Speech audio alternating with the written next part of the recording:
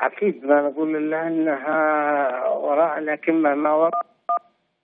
بهذه السرعة وبهذه ال ال يعني العمل السريع والإسراع بالقرارات إن في أشياء لأن غالبا ما تحدث أي مطالب أو أي مشاريع مناطق أو شيء غالبا ما تكون تتأخر كثيرا وما يتم الاتفاق حولها. ولكن هذا دون سابق انذار. تم الاتفاق وابرام اتفاقية مبطنه وهذا الأمر أكيد يثير الاستغراب من الناحيه الأولى ومن ثم يثير مخاوف أبناء منطقه تشن من هذه طبعا الحديث الحديث الآن في هذه الاتفاقية أن الشركة أن الشركة أجهام ستعمل على بناء الميناء تشغيله وكذلك استثماره لمدة طويلة لم تحدد هذه المدة. والشركة كما تعرف أستاذ سعيد هي في الإمارات ومنشاها هناك ومديرها يتبع للانتقال. ماذا تعني اذا ظروف هذه الاتفاقية وقضية أنها سوف تبقى هذه الشركة لمدة لمدة طويلة ربما تصل إلى خمسين عام في المنطقة. أخي الكريم نحن نعلم جيدا كما أشرت ماذا تفعل ماذا من وراء هذه هذا المشروع. وبالإمارات تحديدا التي لم يكن لها أي أثر إيجابي في اليمن منذ القدم وحتى اليوم. بل بالعكس كانت الضرر واضح في كل المجالات. هناك ميناء عدن وهناك ميناء نشطون وموانيا والمطارات البحرية والمنافذ كلها مغلقة. ولا يستطيع أحد أن يمارس نشاطه بأريحية. فما بالك بما تقع في منطقة مفصلية يعني تفصل محافظة المارة في الوسط في عمقها نعم. وهي تاريخية إلا أن وراها أشياء أكبر من هذه. الهدف هو استخراج الأمور التي في بواطن الجبال هذه وتحت البحار. أمور كلها معادن ربما وهبها الله عز وجل لهذه هذا المكان. ولكن شاءت الأقدار أنهم هناك بعض المسؤولين في الوزارة من سابق أنهم لديهم المعلومات مثل الكسادي وما شابه. هؤلاء الناس لديهم كل الأمور.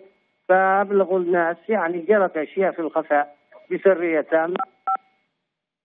تتضح جليل للجميع أنها من وراها استغلال آه، الوضع الحالي وارساء آه، مشاريع كهذه آه، الهدف منها سلب المعادن ونهبها ونقلها إلى الخارج.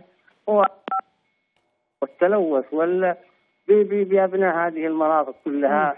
هذا صراحة لا يعبر إلا عن رفض الجميع الكل قد رفض هذه الأمور وبالتالي لا أعتقد أنه سيمرر مثل هكذا مشاريع لأن الرؤية أصبحت واضحة للجميع. نعم لكن مع إصرار الحكومة أستاذ سعيد.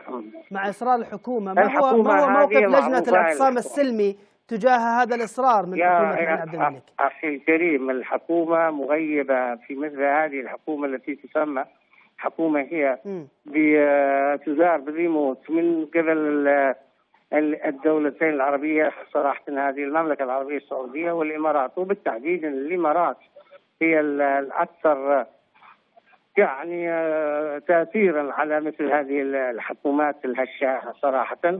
وفوق هذا وذاك يعني هناك بريطانيا هناك أمريكا وإسرائيل. كل هذه الأمور كل يدار بحسب الجهة التي أرفع منه. ولهذا نحن لن نكون بإذن الله الضحية الضحية التي تم آه، هكذا الاستيلاء علينا أو بهذه الطريقة بإذن الله أبناء محافظة المارة جميعا سيقفون موقفا واحدا لرفض كل مثل هذه المشاريع تحديدا في الوقت الراهن الوضع اللا دولة لا نظام المتشعب كثيرا والهدف واضح الجماعة يشتوا يأخذوا حقهم ويروحوا ومن ثم يقع ما يقع في في هذه المناطق. ولكن آه، هي ربما هناك تحركات الآن في جميع أبناء محافظة النهرة. الكل يعني أبدى رفضه. ما عدا البعض صراحة نحن نأسف على أن بعض الأصوات الصغيرة التي لا زالت تلوح بأن هذه مشاريع استراتيجية ومشاريع قيمة وذات منفعة لم يدروا بما جرى في المناطق الجنوبية تحديدا من قبل الإمارات والآن يريد آه الاكتواء بها من قبل آه لمناطق مثل منطقة قشن التاريخية الجميلة بشواطئها وبسواحلها وجبالها وناسها. يعني هذه مضرة كبيرة وكارثة إن استوت بالفعل ولكن إن شاء الله لم تستوي ولن تحصل بإذن الله. بإذن الله.